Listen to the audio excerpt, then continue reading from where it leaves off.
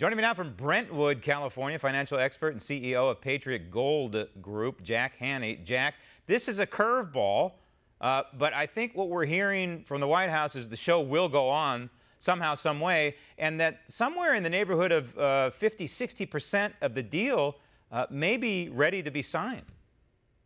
Uh, it is, Graham, and thank you for having me on.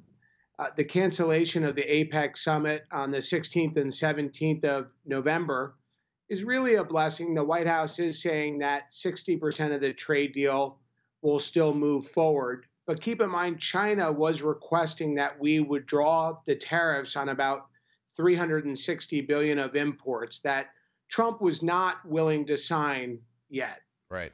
Yeah. And you know, it's interesting. Uh, there, there. I think the Chinese have read Donald Trump's book, The Art of the Deal, because they're saying now a comprehensive deal in public. They're saying a comprehensive deal uh, is not likely right now because of Donald Trump's impulsive behavior. Now, again, we don't know what's going on behind the scenes. Behind the scenes, they may be saying, fine, we'll give you whatever you want, United States, but publicly, they're doing what the president often does.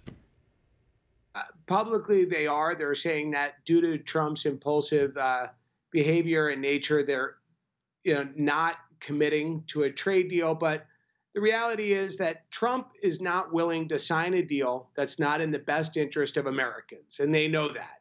And he will not be willing to sign a deal that doesn't include a comprehensive package, and that's what he is committed to Americans. And and the U.S. economy continues to be relatively strong relatively, I use in air quotes, I want to get to that in a minute. But first, one of the gauges we use to read the economy is earnings, you know, earnings of, of large companies.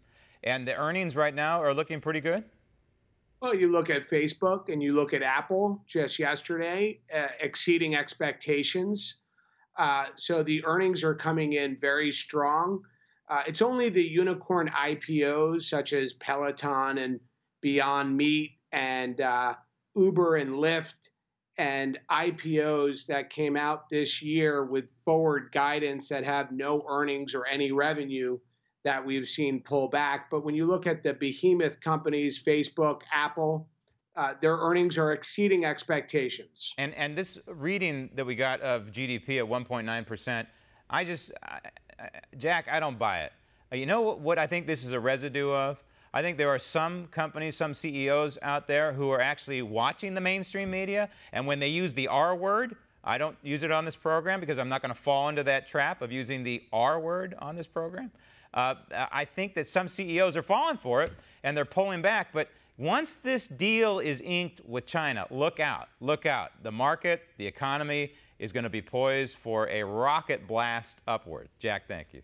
Want to see more videos like this? Click on the link below and subscribe to One America News on YouTube. And call your cable provider and kindly demand that One America News is added to your lineup. Call and subscribe today.